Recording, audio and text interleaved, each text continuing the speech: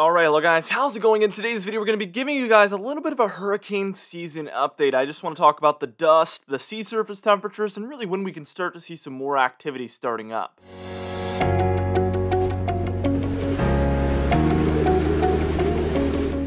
For today's comment of the day, I want to know which month of this hurricane season do you think is going to be the most active overall? Let me know in the comments down below, give me a reason why, and I'll be picking one of those for tomorrow's video.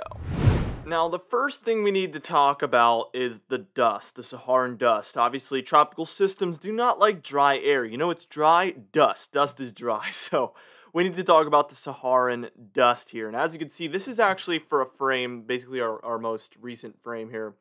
And as you can see, there's quite a bit there in the Gulf, the Caribbean. Uh, there's a little area in between Jamaica and then kind of uh, Puerto Rico there that has hardly any. It still has some. Uh, but then as you see, if you head east of there for the that's called our MDR in between the Caribbean and Africa. There is definitely a ton, and those yellows are even more potent amounts of it.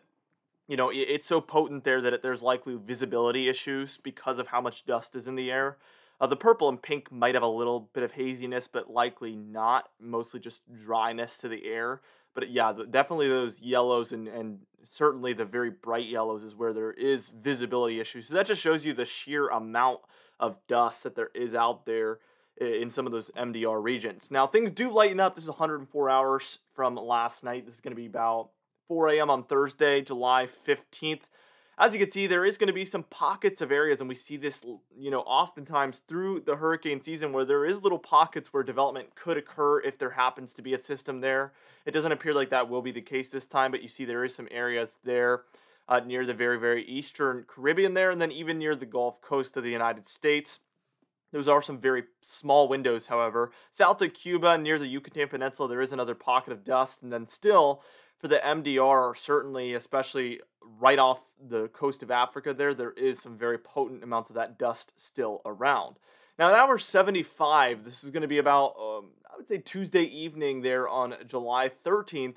You can see there is some waves still trying to enter off of Africa in our MDR. We see all those reds showing up. This is our uh, cyclonic relative vorticity. Basically, this is just some very large scale rotation in the atmosphere. So things that spin, such as tropical cyclones, show up here. Also, there is some non-tropical, you know, low pressure systems that have some nice spin to them also showing up here, like the one uh, very far. We can see two actually near the middle of the, of the very far northern Atlantic there. Those are just some rotating storms that just are not tropical by any means. So those are examples of things that rotate that aren't tropical systems. But we do see that wave coming offshore of Africa. That actually ends up being nothing, as you can see by the time we're reaching Friday afternoon. I think that's mostly because of all of this dust that we have out there. Now, what we're going to do is we're going to move on, and we're going to move from Sunday, July 18th, the morning time. We're going to move all the way to the end of the model run and see if we can get any of these tropical waves off of Africa to develop whatsoever. And then we're going to move on and start talking about sea surface temperatures as well.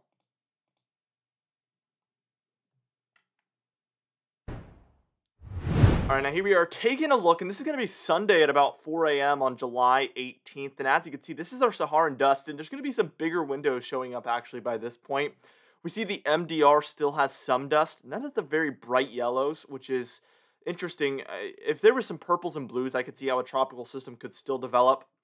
It's those yellows, and then especially those very bright whites almost, that there's just no chance of a storm trying to develop in there we do see there's a nice window there, basically from the Gulf Coast all the way through the Caribbean, the entire Caribbean Gulf.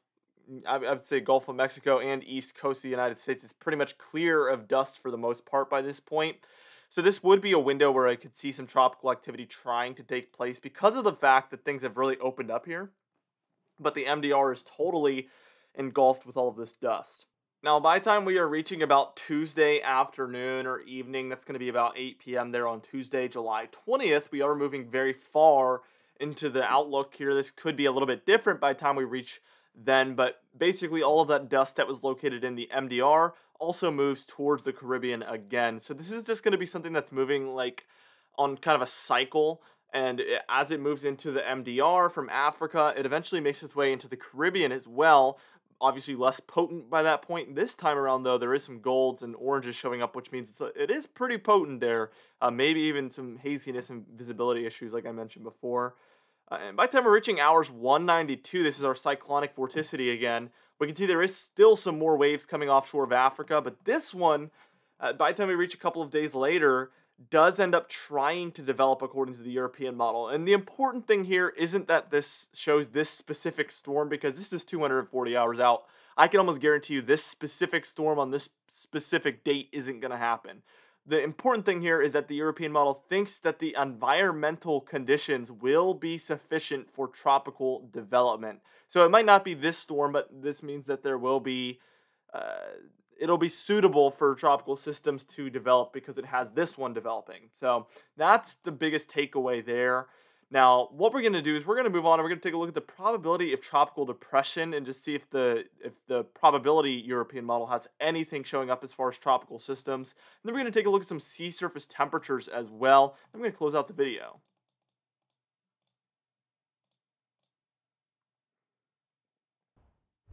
All right, now here we are taking a look here and, and this is going to be approximately days 0 through 3 or Sunday, July 11th through Wednesday, July 14th. And as you can see, there is some little purple areas indicating 10 to 20% chance of tropical development.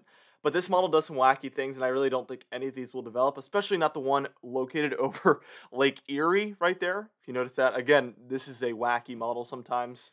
Uh, and then by the time we are reaching day 7 through 10, it's kind of the same story. There is a few purple areas, but really it doesn't have much developing.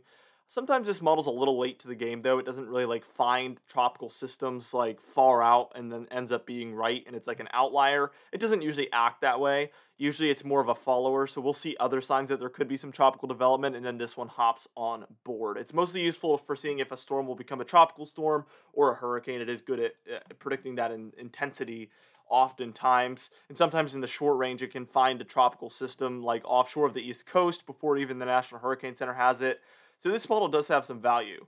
Now moving on to the sea surface temperatures. This is interesting because our ENSO region are down there where the El Nino would form. That's basically offshore of Central America and a little bit of northern South America. It is cooling a little bit there in the regions, especially the regions that matter the most there. So we are seeing this become more towards the La Nina side or heading in that direction. The Atlantic is cooled quite a bit, and I think that's mostly due to Elsa moving through. Usually, when we see these tropical systems move through, it does cool the waters quite a bit. And as you can see, the Caribbean, the Gulf states, the East Coast, and the MDR are all below normal sea surface temperatures. This is good news because this could, for the meantime, hinder some tropical activity from occurring. The middle of the Atlantic and the northern Atlantic does have some warmer than normal sea surface temperatures, and moving towards the fall and winter, this is actually good news for cold and snow lovers because this is a classic negative NAO pattern. And those colder waters, if they will continue near the East Coast and the Gulf Coast, will help temperatures just uh, get colder near the coast uh, as those cold, basically as cold air masses move through. Sometimes the warmer waters can keep the air temperature surrounding that region a little bit warmer, but if they're already below normal, it'll just help everything cool down quicker. Not that this video is even about the winter. Let's take a zoomed in look at the North Atlantic real quickly.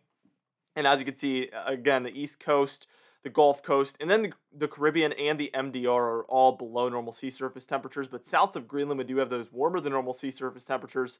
And then also east and north of Bermuda as well, which is kind of, again, just that classic negative NAO pattern showing up here. Anyway, for today's confidence tab, we're at a 3 out of 6 today. Obviously, we talked about some things that are closer to about hours 240, which is exactly 10 days. That's like the 10 day range there, obviously. 24 times 10, 240. So for today's confidence tab, we are at a 3 of 3 out of 6 because of the just longevity of the range we've been talking about today. For today's comment of the day, I asked you guys, how would you rank this summer so far? Not that we're there very far into it. We're almost at the halfway mark, though, believe it or not. Uh, the normal 2007er said, I live in Texas and I rate it 9 out of 10. It's been raining a lot and it has been cooler than than unusual. I think this person meant to say usual. Cooler than unusual. Uh, that's an odd way of putting it, but I get what you mean. Uh, this one, I picked this one because it's kind of more of a positive outlook, giving it a 9 out of 10. I got a lot of people from the Pacific Northwest that are like ranking it like a 1 out of 10, and I'm like, man, I just really want to pick a happy comment today. I also had a lot of people from the East Coast make ranking it a one out of ten for the opposite reason. They because the Northwest are saying it's way too hot. Stop it. It's way too hot. And then the East are like it's too cold and rainy. So if only we could just like flip, everybody would be happy. But obviously, after like a week, they'd all be complaining again for opposite reasons. That's just how it works. For today's patron highlight of the day, I want to thank you all for supporting the channel, but especially our platinum patrons John Ben Benbenick, James Wade, Dovey Nagel, Lair LePan, and Donna Carnes, alongside our diamond patrons Bill Roberts, Marcus Connolly, Noah Harley, Michael Codalessa, Catbite, Charles Stinnett, Cindy Klein, Mark J, Luke Flago, Gary's, John Calisi, Dwight Phelan, and Stephen Cronenthal. If you would like to be a part of this exciting patron end screen today, you can do so by joining our very awesome Patreon page in the description and in the pinned comments down below. I would also like to thank our channel members Hair Farms One and Catbite as well. Anyway, guys, thank you so much for watching this video. Be sure to destroy the like button, leave a comment down below to help that YouTube algorithm out, and be sure to subscribe if you like weather-related content. I will see you guys in the next video.